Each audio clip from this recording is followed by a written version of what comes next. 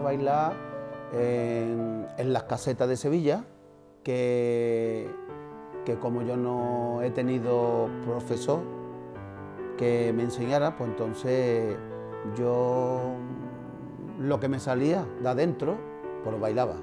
No sé de qué manera, pero lo bailaba. Lo que sé es que, que las casetas se llenaban. Y, y como yo no. Yo bailaba con una hermana mía, que se llama Loli, y, y entonces, como nos veía que estábamos solitos, pues entonces el camarero cogía la, la bandeja y decía, echa una propina para los niños, hombre, para que se tomen un refresco, ¿no? Y, y así es como, como fue de que, de que nosotros siguiéramos, ¿no?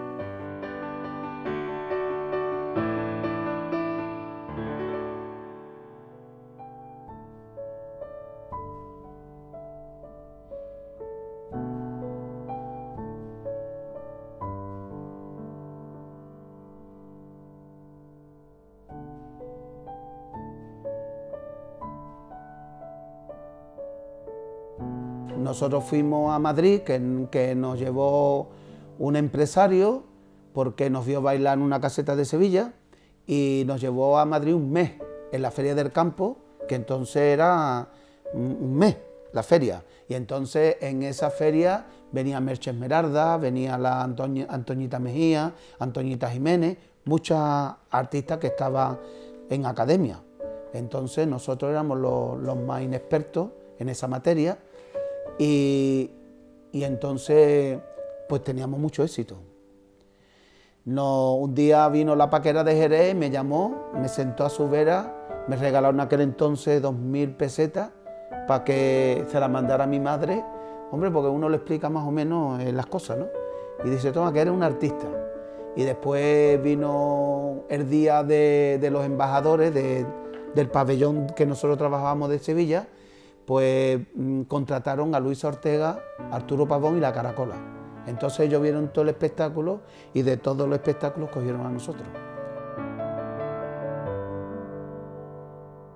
Vinimos a Sevilla y nos contrató el cortijo Guajiro, el Guajiro.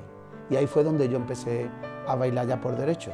Ahí estaba las hermanas España, Manolo Solé con la, con la mujer, estaba Carmen Blanco, mm, un elenco grande, Trini España, y entonces ya ahí fue cuando en el año 64, por ahí, cuando ya yo me realicé bailando.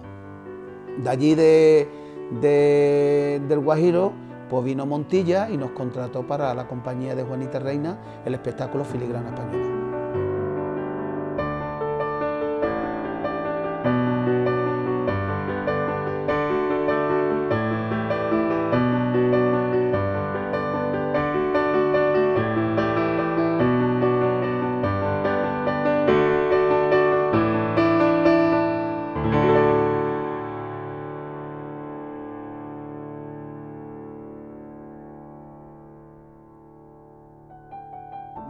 Fue Farruco. Entonces de ahí yo partí de, bailar como, como, como me asemejaba a él y que yo lo tenía muy aquí, muy aquí. Entonces era mi estilo, el que yo buscaba porque es que el que me gustaba. Para mí ha sido mi maestro, aunque él no me ha enseñado nada, pero de verlo ha sido mi maestro. Hoy día mucha gente aprende de ver vídeos, ¿no? De aprende. Y, a lo mejor los quieren hacer igual que la persona que ve. No, yo adaptaba lo que veía a mi personalidad, a mi forma. Y, así fue como, como yo llegué a... Yo creo que,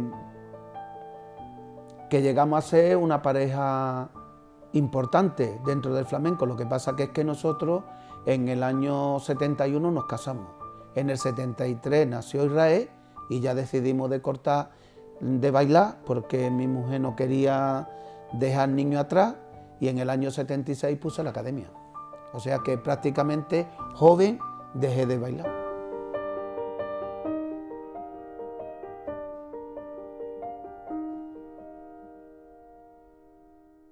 me gustaba enseñar porque yo no me hacía ni una idea de dejar de bailar. Cuando yo me retiré de, bailar con mi mujer, me coloqué a, pulimentar suelo, porque, bueno, trabajaba, había que trabajar, había una casa y como realmente siempre había bailado con pareja, con mi mujer, pues entonces yo estuve trabajando solo, pero no me, no me sentía bien. No, y entonces pues me coloqué. Pero venía amargado. No, no quería vivir. Y entonces yo volví a bailar. Volví a bailar y. pero en la academia. Puse la academia.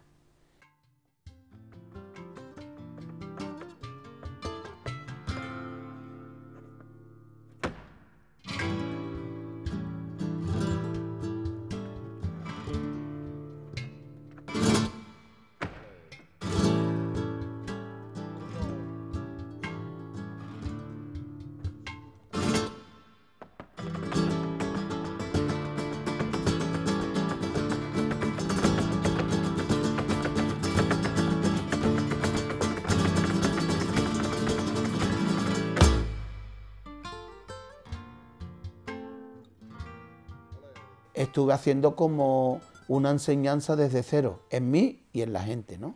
Por eso estos bailadores que, salieron de mí han sido como hijos míos, porque yo los he enseñado desde cero.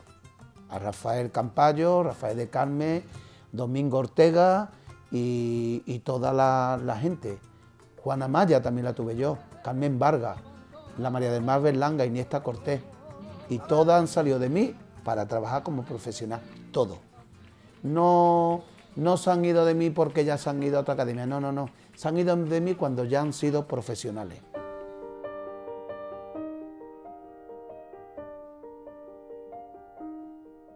Como yo en el 83 gané el premio con mis alumnos de gente joven, tenía de llamada que no te puedes imaginar, de todos lados, de todos lados mm, pidiendo artistas. Y, yo me hice como, como un representante, porque no vea la de gente que me llamaban para un sitio, para otro, para otro, para otro, y yo cogía a los niños, venga, que te va para allá a trabajar, y así los hice artistas. Porque Rafael de Carmen tiene dos hermanas, que también son bailadoras, y, formé un, cuadro y los mandé a, a Torremolinos seis meses a trabajar. Eh, después otra gente se fueron a Santander otra gente a Barcelona, el del Cordobés, se ha llevado desde el año 82, 83 hasta la fecha llevándose artistas de mi casa. O sea que, que los hechos artistas.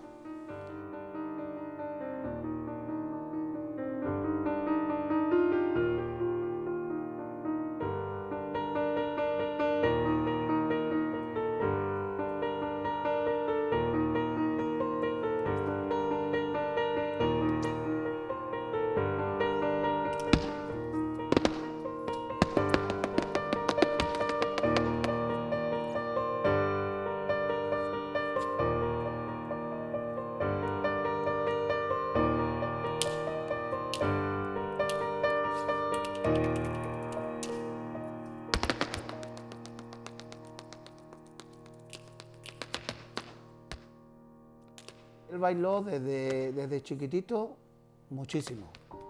Eh, Taqueto lo vio bailando en la, en la trucha, que tenía cinco años, y, bailaba para reventar. Lo que pasa es que cuando tenía 11 años me daba las vueltas y se iba a jugar fútbol con todos los niños de la academia. Y yo iba a buscarlo y le rajaba el balón porque yo no quería que, que jugara fútbol. Y entonces, pues yo le decía, a la academia, a bailar y, ya está. Y porque yo veía que él tenía facultades para bailar. Y en el fútbol, mi cuñado lo llevó para que, para que jugara en el Betis.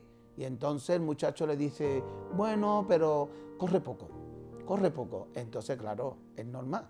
Pues entonces, como yo tenía esa información por mi cuñado, digo, no, porque no, se va, va a perder tiempo y este niño tiene esto que él tiene maera para poder ser artista. Entonces él se presentó por todos los premios.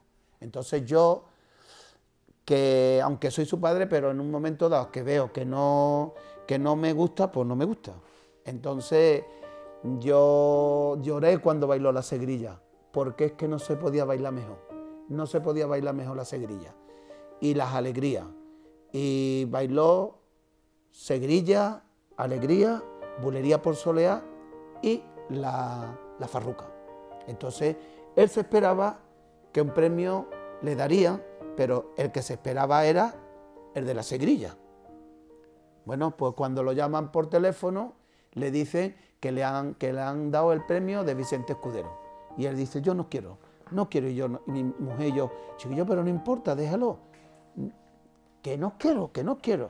Total, que, claro, como la madre ya empezó, no me haga sufrir, no me haga sufrir, que sí, total, que fue. Y entonces bailó la farruca y el teatro entero de pie, entero de pie. ¿Sabe a qué hora lo sacaron? A las 2 de la mañana. El teatro empezaba a las 9 de la noche y a las 2 de la mañana el último lo sacaron ahí. Claro, como todo el mundo de pie, pues tuvo que repetir, que no se repite nunca, repitió por bulería. Entonces, yo creo que ese fue el camino del decir, mandar de Vicente Escudero, pues voy a estudiar yo a este hombre. Y claro, y, yo He visto cosas de Vicente Escudero y se parece muchísimo.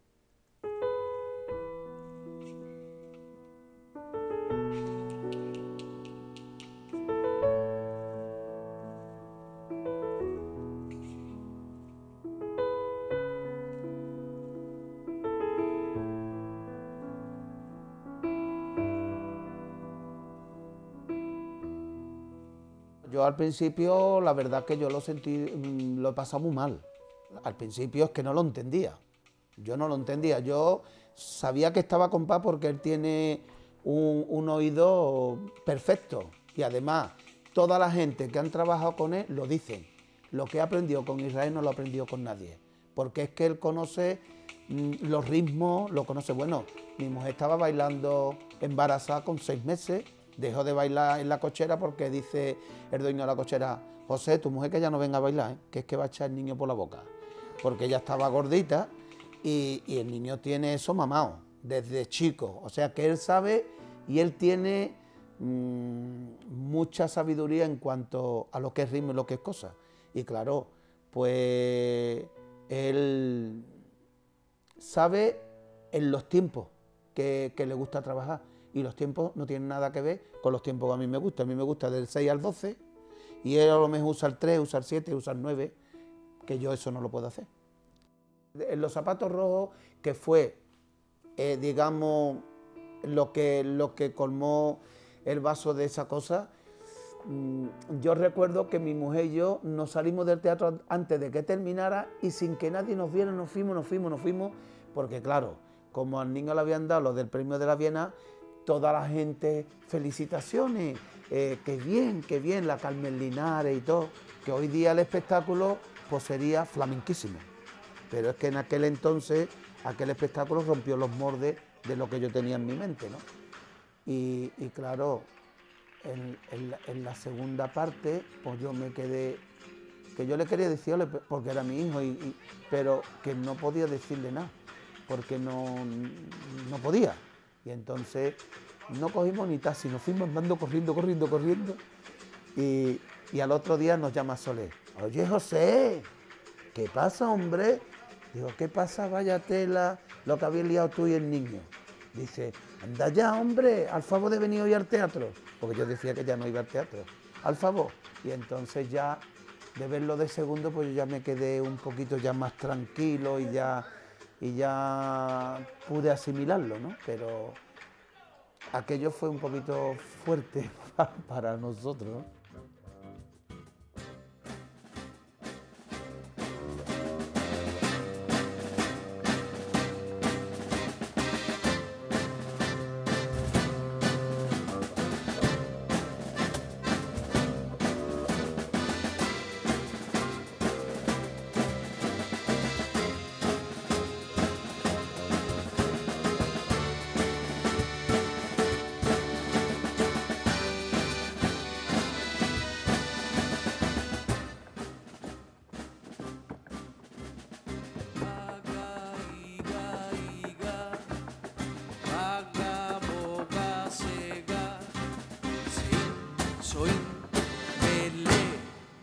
Ella tiene toda la base mía, aparte de que yo a ella la puse en el conservatorio, porque claro, yo estaba viendo de que esto se estaba poniendo de una manera que ella se exigía que si la anatomía del cuerpo, que si la disciplina, que si esto, que si lo otro, pues entonces digo yo, pues nada, como yo no tengo, yo soy flamenco, yo no soy clásico, pues entonces, como esto va a ser en el futuro lo que se va a llamar flamenco, pues entonces la metí en el conservatorio y hizo la carrera. Pero ella hizo la carrera, pero el flamenco que ella baila es el que yo le enseño. Sino que también ella pues mm, monta coreografía a su hermano y, su hermano pues intenta de darle las ideas de él y ella pues hace mm, más o menos la idea que él le pone pero imitando lo que él le enseña, ¿no? Entonces hay cosas que, pero ella lo hace flamenco, ¿no? Eh, por ejemplo, cuando ha bailado lo de Triana, que se la monta Israel, pero más flamenca no se puede bailar. Y eso es cosa de Israel. Si Israel puede montar eso, significa que puede bailar flamenco y que lo sabe.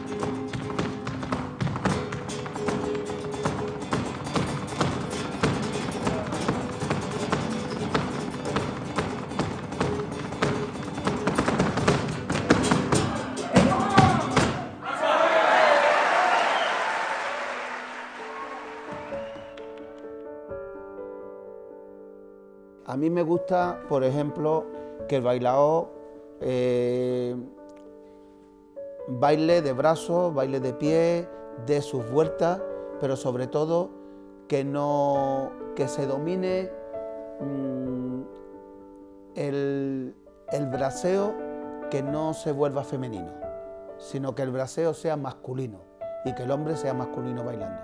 Y la mujer todo lo contrario, que mueva sus caderas, que sepa que es una mujer, que mueva sus brazos y que se olvide de tanta metralleta en los pies. ¿Por qué? Porque la metralleta en los pies ya lo hemos tenido con Carmen Amaya. Y Carmen Amaya nada más que ha sido una, irrepetible. Y entonces lo que, lo que la mujer tiene que hacer es que, que el baile, mm, cuando baile, el que esté viéndola, que goce de verla. Que goce de verla, porque está viendo una persona femenina bailando con, con aje, con aire, con arte, pero no que solamente se agarre el vestido y ahora se ponga que parece que está martilleando una puntilla en el suelo. ¿Entiendes? Entonces esa clase de baile para mujer a mí no me gusta. A mí me gusta que baile flamenca sobre todo y que después utilice su cuerpo en el baile, que si tiene que mover cadera, que se tiene que doblar la cintura para marcar, porque eso es bonito en una mujer, y, lo que yo veo es que hoy día los hombres lo hacen más que las mujeres. Hoy día hay hombres que se doblan más que la mujer y mueven los brazos mejor que la mujer. Entonces, eh, esa es mi idea. Mi idea es de que, de que a mí me gusta el hombre que sea varón y bailando.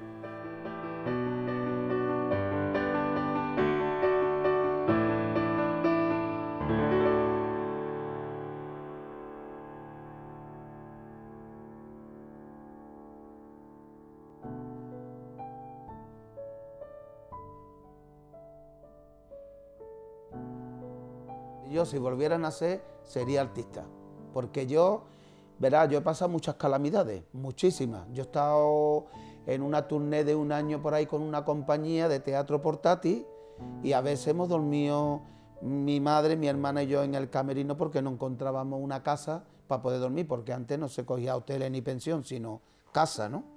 Y muchas veces, pero eso se olvida, para después lo que uno siente cuando, cuando está haciendo lo que le gusta, ¿no? Entonces yo es que por eso quería que todos mis hijos fueran artistas, porque es que a mí me ha encantado. Y, y el chico mío es psicólogo, pero lo tengo aquí que lo estoy enseñando para bailar, porque a mí me gusta que baile. mientras tenga la vida, voy a seguir soñando, porque el sueño nada más que se quita, nada más que se pierde la vida. Entonces, eh, yo voy a seguir soñando hasta que, hasta que se pueda. A mí me gustaría que, que quisiera trabajar en una Viena en Sevilla. Me gustaría. Me gustaría.